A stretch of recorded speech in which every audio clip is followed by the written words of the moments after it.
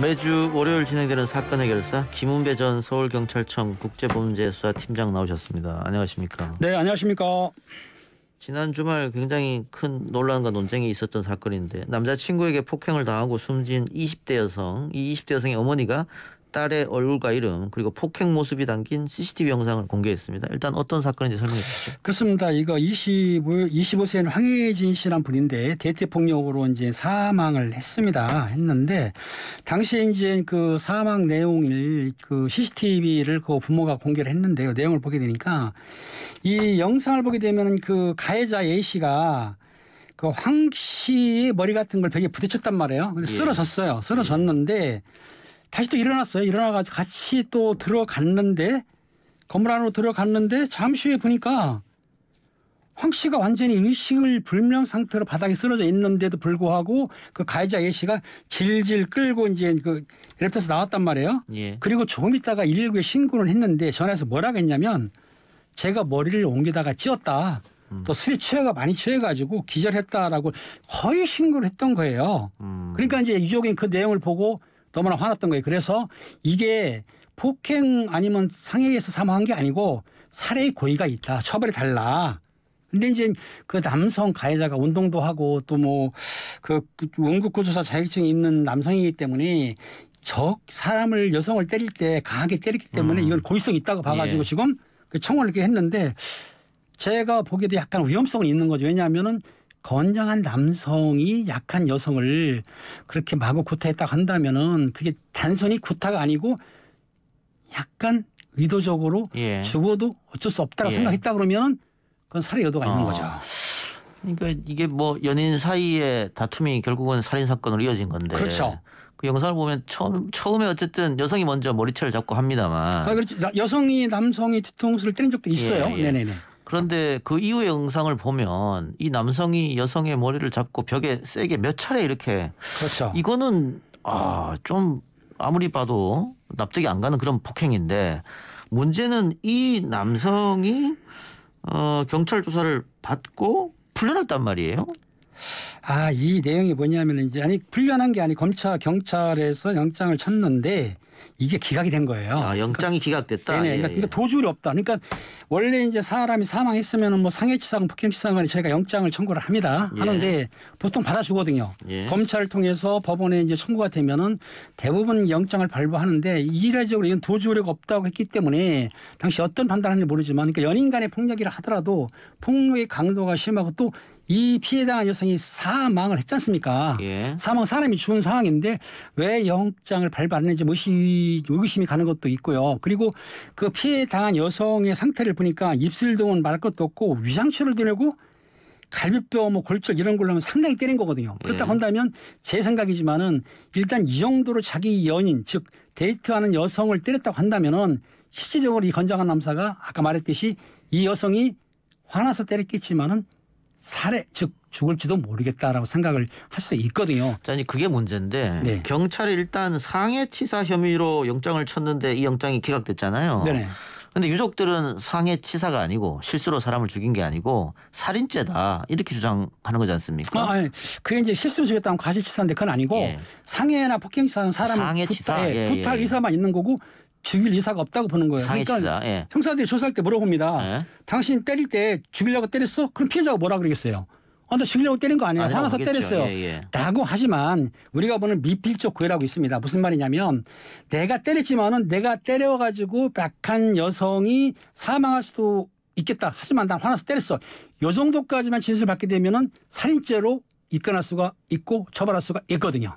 자, 지금 유족들은 어쨌든 살인죄로 해다 해달라. 살인자로 자기들이 보기에는 뭐 일- 일반적인 주장이겠지만은 일단은 그 피해 상태를 보던가 아니면 계속 지속적으로 때린 거 건장한 남성이 여성을 때린 거는 고의성이 있다. 즉 죽이려고 안 했지만은 죽을지도 모를 정도의 폭행을 했다라고 보기 때문에 살인죄로 처벌해달라고 지금 청원을 한 거죠. 팀장님 보시기에는 어떻습니까? 어떻게 될 것 같습니까? 제스 제가 직접 조사는 안 했지만 이 지금 나온 대로 여성의 피해 상태를 본다고 한다면 피해 상태를 본다고 한다면은 이 남성이 혹시 여성이 사망할지도 모른다는 그런 인식이 있지 않았나. 그렇다고 한다면 미필적 고의가 가능하죠. 그렇다 그러면은 재판부라든가 아니 거기서 저 검찰에서 제명을 바꿀 수가 있거든요. 살인죄로. 예. 근데 어쨌든 지금 구속영장이 기각됐으니까는 이 친구는 불구속 상- 상태에서 조사받는 거 아닙니까? 불구속 상태 조사인데요. 좀 더 조사를 하게 되면 영장은 재청구도 가능하거든요. 아, 그러니까 다시 바뀔 수도 있다. 그렇죠. 청구를 할 수가 있기 때문에 아직은 조사가 끝난 거 아니기 때문에 가능성은 있는 거죠. 예. 자 그러면 구속 수사로 어, 바뀔 수, 가능성은 있는데 유족이 원하는 건 신상 공개까지거든요. 신상 공개는 과연 이루어질 것인가? 신상 공개는 쉽지가 않습니다. 신상 중대한 범죄고 범위가 확실해야 되고 국민이 알 권리를 다 따지는데 신상 공개는 경찰의 그 경찰청에서 실행 위원회 하지 않습니까? 일곱 명이 하는데 그중에 네 명 이상이 찬성해야 되거든요. 이게 흉악한 범죄냐 아니냐는 판단은 그 유족 측에서는 흉악하다 하지만 그 심사원들이 볼 때는 흉악한 범죄를 보기엔 좀 그렇지 않겠냐. 그래서 신상 공개는 쉽지 않을 것 같습니다. 예. 뭐 흔히 쉽게 얘기한 데이트 폭력인데 혹은 뭐 이별 폭력일 수도 있고 근데 이런 것들이 문제가 이렇게 어떤 경우에는 과도한 집착 등등으로 인해서 살인 사건으로 이어진 경우가 많아서 문제다. 혹시 팀장님도 비가 비슷한 사건 수사하신 적 있습니까? 그렇습니다. 다 사람이 살다 보면 남녀 관계로 싸우는 게 종종 있는데 이게 심일 때는 데이트 폭력인데요. 제가 했던 경우에도 한 2년 동안 둘이 연인 관계에 있었어요. 예. 근데 이제 그 만나기로 약속했는데 여성분이 동창회 때문에 동창회 모임을 나갔던 거예요. 예. 그리고 1차로 식사를 끝났으면 좋겠는데 보통 우리가 동창회 나가면 2차를 가자 그러지 않습니까? 예. 그러니까 2차를 갔는데 그 동창들 중에는 초등학교 동창이니까 남 여자만 있는 게 아니고 남자들이 있었어요. 그러니까 예. 어울려서 술도 마시고 놀고 있는데 불행하게도 그 주점에 그 남친 남자 친구의 친구가 술 먹으러 왔다가 그 여친을 본 거예요. 아이고. 자 그러면 네. 남의 일은 관여를 하지 말아야 되는데 아, 불구하고 알려줬네요 또. 그렇죠. 그 봤던 그 친구가 그 남친한테 네 여자친구가 다른 술 남자들이랑. 주점에 술 먹고 아. 있다 얘기를 해버린 거예요. 예. 그러니까 다음날 만난 남친이 물어봤어요. 어제 친구 음 있다는데 어땠어? 그러니까 어, 식사만 했어. 누구랑 했어? 응, 우리 여자 동창 했어. 아 여자 동창들끼리만 했다. 어. 남, 이 여자 입장에서는 아하. 그게 선의 거짓말 아닙니까? 그렇죠, 그렇죠. 구태여 남자 있다 그럼 화낼 거니까. 예. 근데 이제 빌미를 잡은 거예요. 음. 너 내 친구가 널 봤는데 남자랑 어울렸다며 음. 이렇게 된 거예요. 음. 그러니까 거짓말 하니까 여자가 이제 아니라고 우겼을 거 아닙니까? 일단은 예. 일단 우기거든요. 근데 남자가 차를 못 참아가지고 구타를 했는데 아하. 이게 뭐 사실 영화를 보게 되면 화나면 뺨을 때리더라고요. 영화에도 아니 영화나 뭐 TV를 보게 되면 음. 그것도 폭행인데 어 폭행이죠. 이 남자는 뺨을 때릴 뿐만 아니라 주먹을 날려가지고 호흡도 부러뜨리고 아하. 아까 이시로 갈비도 때리고 그러니까 남자들이 화가 나면은 자기 분노 조절이 안 되는 것 같아요. 아, 그런 사람도 있고 아닌 사람도 있는 거죠. 그런 사람도 예. 있는데 또, 또 사정없이 때려가지고 여자가 상당히 맞았어요. 그리고 아. 내팽개치고 그냥 가버린 거예요. 어허. 그러니까 그리고 여자가 참으려고 했는데 또 전화 와가지고 협박을 한 거예요. 계속. 그리고 여자가 고소를 했습니다. 예, 예. 상해죄하고 협박죄하고 예. 그러는데 이 친구가 도주를 한 거예요. 어. 가해자가. 어. 그래가지고 주변을 탐문해서 그 나이트클럽을 간다는 말을 듣고 나이트클럽의 잠복에 있다가 음. 그 남자친구가 그 친구들 즉 남녀 섞여 있는 장소에서 같이 어울리는 걸 보고 체포를 했죠. 근데 여자가 강력히 처벌을 원해서 음. 그 당시에 구속을 시켰습니다. 어허. 시켰는데 나중에 말 들어보니까 협박죄 같은 건 반의사 불벌죄거든요. 예. 상해죄도 합의를 한다 하더라도 상해죄는 처벌을 받습니다. 예. 그래서 아마 집행유예로 나왔다는 말을 들었습니다. 아 집행유로 나왔다. 여자가 용서해준 거죠. 아 그렇군요. 어쨌든 이 보면 이렇게 한 번 폭력을 쓴 사람이 과거에는 폭력을 하지 않았을까? 혹은 나중엔 또 폭력을 쓰지 않을까? 그러니까 이 폭력성을 띠면 그 남 남성이나 여성이나 마찬가지겠습니다만은 빨리 인연을 정리하는 게 맞지 않느냐 이런 생각. 그렇습니다. 남성이 폭력을 휘두르기 시작하면 이렇게 습관으로 되기 때문에 예, 예. 지속적으로 한다고 하니까 예. 폭력을 못하게 막고 그래도 불구하고 폭력을 쓰게 되면은 정리하는 게 음. 옳은 거라고 보죠. 그래요. 알겠습니다. 자, 그러면은 다른 사건으로 넘어가서요.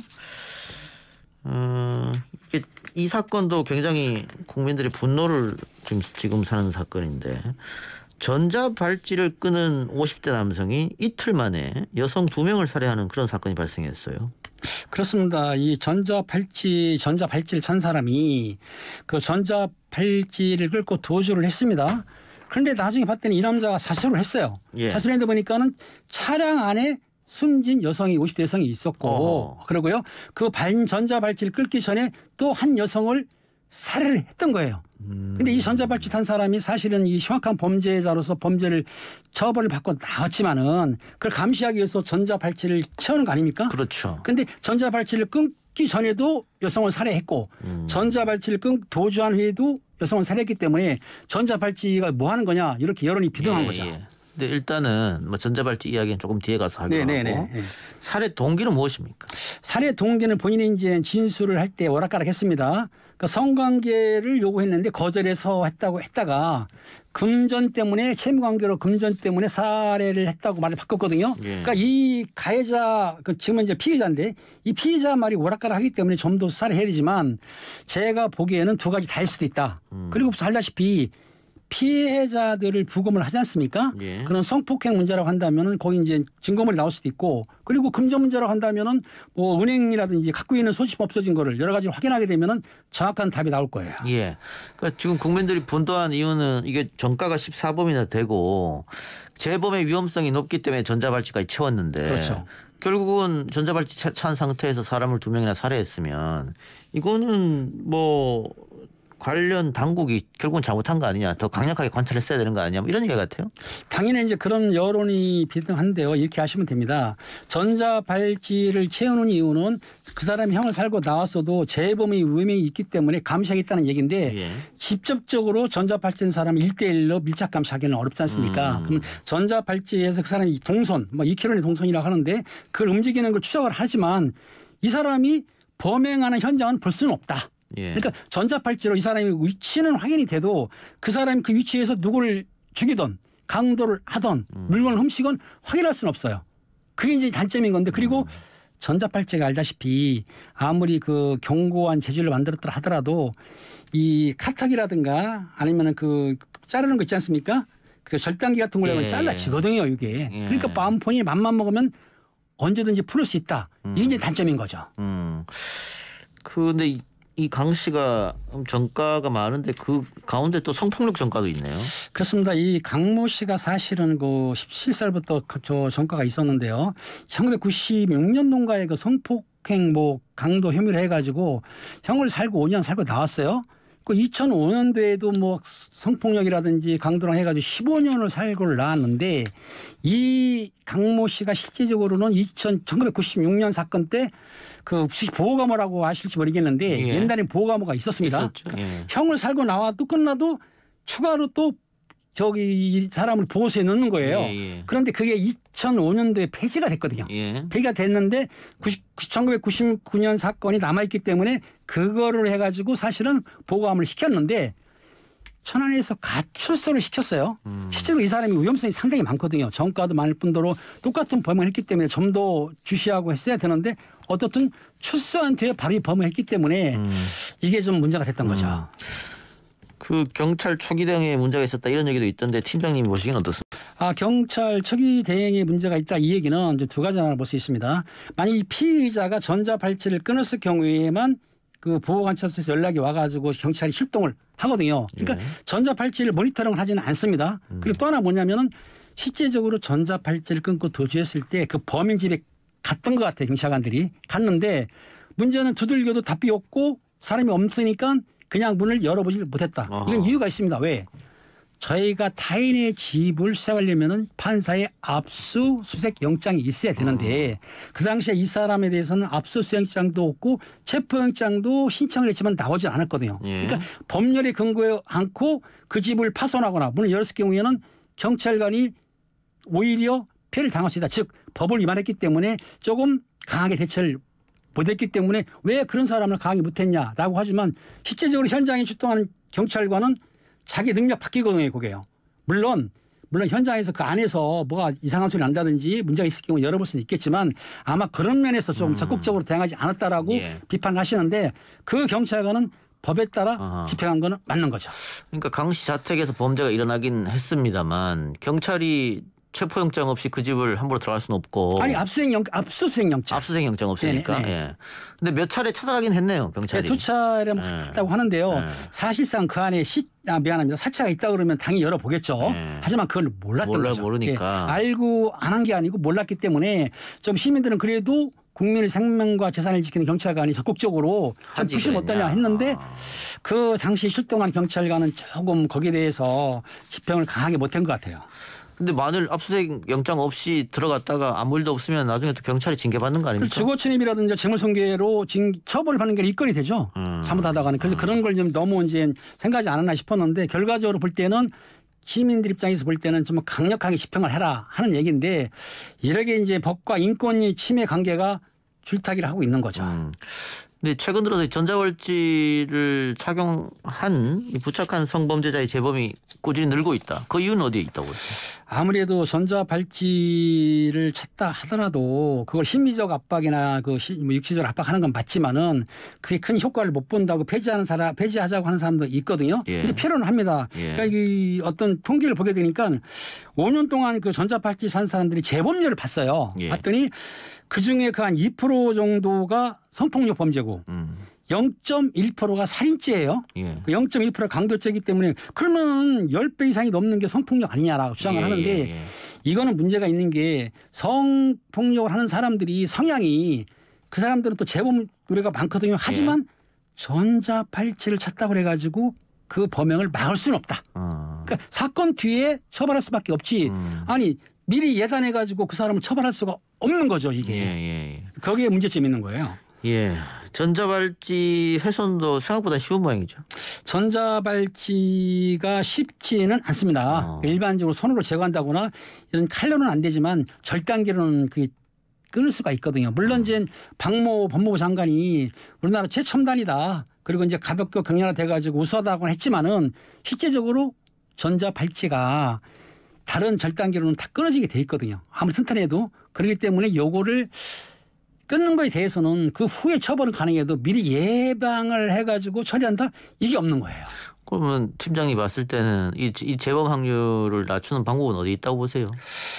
아, 이게 사실상은 인원이 많고 예산이 많다면 밀접 감시하고 그러니까 전자팔찌를 차거나 범행을 끝내고 온 사람들을 수시로 직접 관찰도 하고 밀착하면 되지만 일대일 감시는 어렵지 않습니까? 예. 그래서 혹시라도 피해자들한테는 스마트워치를 우리가 지급하고 있어요. 아시죠? 예, 예. 긴급시에 누르게 돼 있는데 그 스마트워치도 사실은 많지는 않거든요. 예. 충분하지 않기 때문에 실제적으로 이런 범인들을 어떤 그 재- 예방하기 위해서는 보호 감호가 최고 좋은데 아 그건 뭐 인권 탄압이라서 안 그게 되는 지금 거니까. 없어졌기 예, 때문에 다시 예. 이제 국회에서 다시 뭐 제안하는 분들 있긴 있어요. 예. 그렇지 않으면은 이 사람들을 막을 방법이 없는 거죠. 어, 쉽지만 않다. 쉽지 않죠. 그 아까 인력이 부족하다고 그랬는데 이 보호 관찰 인력이 뭐 한 사람이 뭐 몇십 명을 담당하니까는 아, 보관찰 인원이 지금 그 재범 그 전자발찌 한 사람들의 한 17명 정도를 관할한다는 거예요. 한 명이서 예, 하는데 예, 예. 어느 분은 또 그러더라고요. 뭐 이제 어떤 분이 아,